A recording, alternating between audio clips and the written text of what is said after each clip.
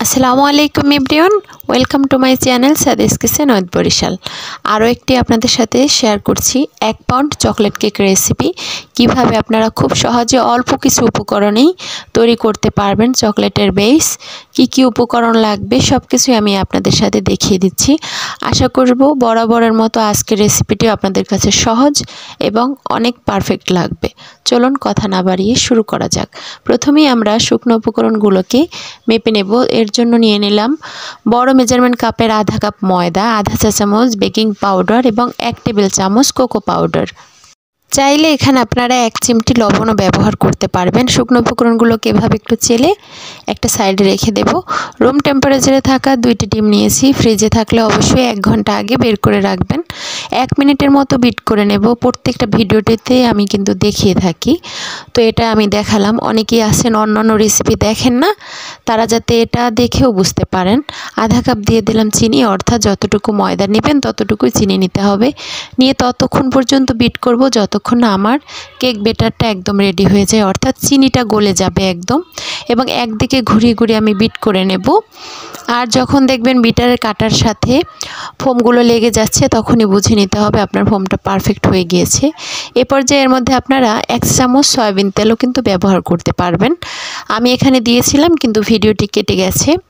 এরপর যে আমি শুকনো উপকরণগুলোকে এভাবে করে দিয়ে আলতো হাতে একদিকে ঘুরিয়ে ঘুরিয়ে মিশিয়ে নেব। যেভাবে আপনারা ভিডিওতে দেখ, ভিডিওতে দেখতে পাচ্ছেন সেমভাবেই কিন্তু আমি মিশিয়ে নিচ্ছি একদম তাড়াহুড়ো করে মেশানো যাবে না, তাহলে কিন্তু আপনার ফোমটি নষ্ট হয়ে যাবে। আমি প্রত্যেকটা ভিডিওতে বলে থাকি, এভাবে করে আমি নেড়েচেড়ে খুব ভালোভাবে আলতো হাতে মিশিয়ে নিতে হবে। সবশেষে একটা স্প্যাচেলা দিয়ে এভাবে করে উল্টে পাল্টে দেবো। অনেক সময় দেখা যায় ময়দার দানাগুলো থেকে যায়, তো সেগুলো এভাবে করে একটু নেড়েচেড়ে দিলে খুব ভালোভাবে মিশে যায়। ইঞ্চি একটা মোল্ড নিয়েছি, আমি এটা উঁচু করব, একটু হাইট করব। যার কারণে একটু ছয় ইঞ্চি নিয়েছি। যদি আপনার একটু ফ্ল্যাট করতে চান, সাত ইঞ্চি মোল্ডে একদম পারফেক্ট কিন্তু হয়ে যাবে। এ পর্যায়ে আমি সম্পূর্ণ বেটার দিয়ে আমি একটা কাঠি নিয়েছি, তা দিয়ে এভাবে করে একটু নেড়ে চেড়ে দিচ্ছি। এতে করে ভেতরে বাতাস থাকলে তা বের হয়ে যাবে। একটু ট্যাপ করে ওভেনের আপ ডাউন হিট অন করে একদম নিচের তাকে রেখে একশো পঞ্চাশ ডিগ্রি তাপমাত্রায় আমি বেক করে নেব এবং কোন তাকে রেখে পিজা বেক করতে হয় এবং কেক বেক করতে হয়, গতকাল, বা তার আগের দিন আমি একটা ভিডিও আপলোড করেছিলাম, আমি ডিসক্রিপশন বক্সে লিঙ্ক দিয়ে দেবো, আপনারা দেখে নেবেন। এখানে আমি একটা সাত ইঞ্চি বোর্ড নিয়েছি, তার মধ্যে আমি কিছু ক্রিম লাগিয়ে নিলাম এবং একটা স্লাইস দিয়ে দিলাম। সবার উপরে যে স্লাইসটা থাকবে সেটা সবার নিচে দিয়ে দিবেন। দিয়ে যদি দেখেন অনেক সময় উপর থেকে একটু ড্রাই থাকে, সেক্ষেত্রে নিচের স্লাইসটা যে আমি দিয়েছি, তো ওটার উপর একটু সুগার সিরাপ দিয়ে নেবেন। নিয়ে আমি কিছু সুগার সিরাপ দিয়ে দিলাম এবং ক্রিম দিয়ে দিলাম। তার মধ্যে কিছু চকলেট গানাশ দিয়ে দিচ্ছি। আর সুগার সিরাপটা কীভাবে তৈরি করবেন তার রেসিপি আমি ডিসক্রিপশন বক্সে লিঙ্ক দিয়ে দেব। আপনারা অবশ্যই দেখে নেবেন। চকলেটের জন্য চকলেট কেকের জন্য কিন্তু আলাদা সুগার সিরাপটা তৈরি করতে হয়। কারণ আমরা চকলেট কেক বেক করার পরে কিন্তু ওভাবে ডার্ক হয় না।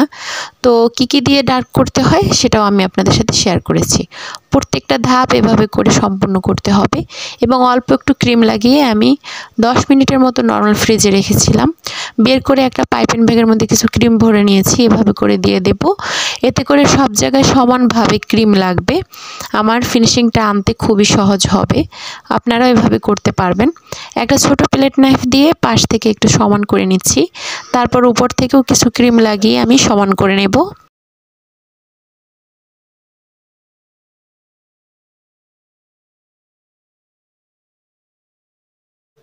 একটা ভিজিটিং কার্ড নিয়েছি, তা দিয়ে আমি এভাবে করে একটু সমান করে দিচ্ছি। এতে করে ফিনিশিংটা আনতে খুব সহজ হয়। একটা পাইপিং ব্যাগের মধ্যে কিছু চকলেট ঘানাশ ভরে নিচ্ছি।